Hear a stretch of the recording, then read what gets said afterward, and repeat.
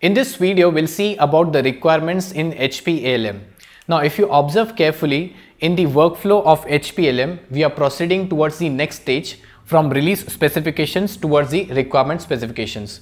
Now, what exactly is a requirement? Let us see the definition here.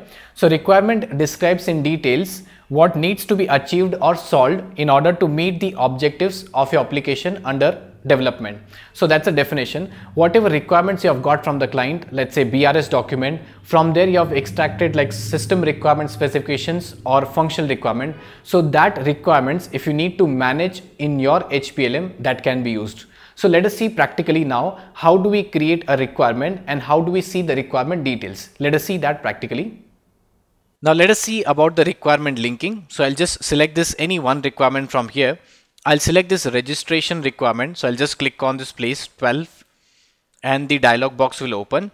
Now in the previous video we have seen about details, rich text, attachments. We have seen about the history and the risk assessment.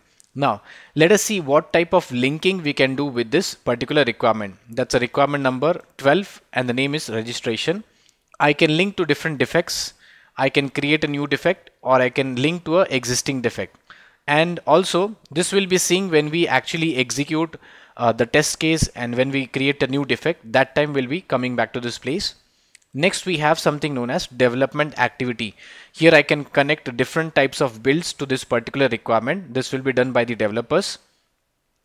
Next I have requirement traceability. This will be working on it right now after that, I have something known as test coverage. Suppose one requirement has multiple test cases. I can connect those multiple test cases by using this test coverage. The next one we have business model linkage. This will be again done by the business analyst. They can link different types of models which they have created with this particular requirement. Let us proceed with the requirement traceability.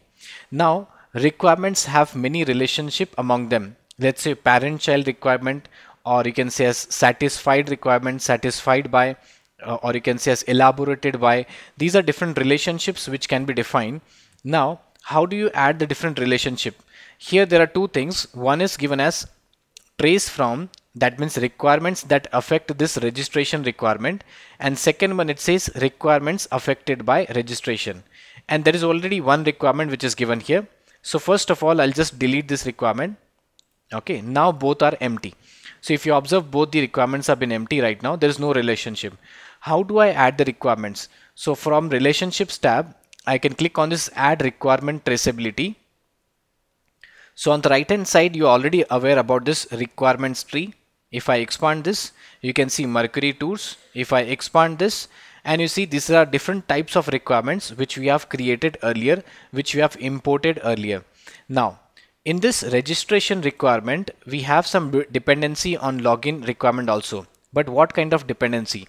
Suppose if I register, only then I'll be able to log in. Okay. So what happens is in which place should I put this login requirement? So login requirement, should it come in this place or in this place? So let's read this, read this one.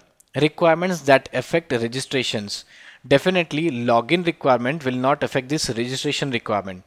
So requirements affected by registration. If you see below, yes, this is the correct one.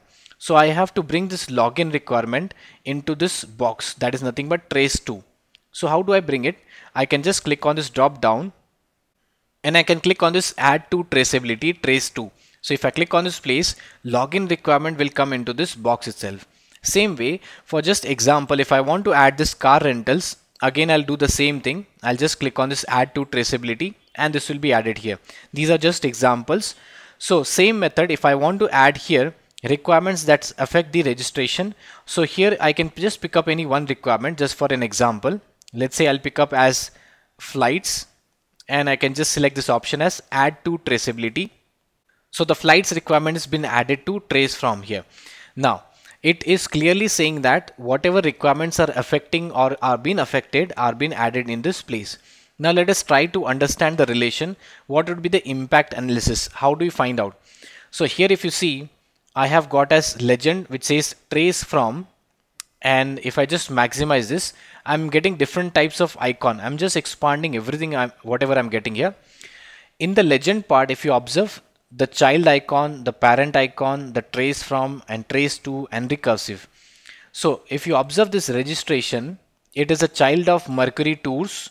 Mercury Tours is a child of uh, this one requirements. So if I go in the reverse order, it says requirement is a parent of Mercury Tours. Mercury Tours is a parent of registration. Let me explain you practically what it is.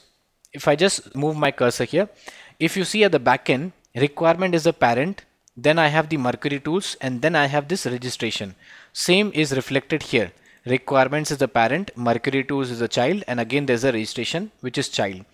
So if you observe second one, it says requirement is the parent and then the we have the flights.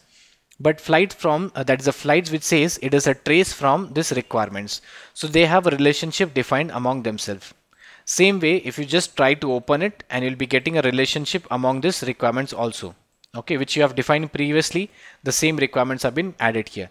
So that is impact analysis what we can identify any changes made into this requirement will affect the other requirements. So this is how we can find out the impact impact analysis. And same applies for the here also that is trace from registration login logout. These are related requirements.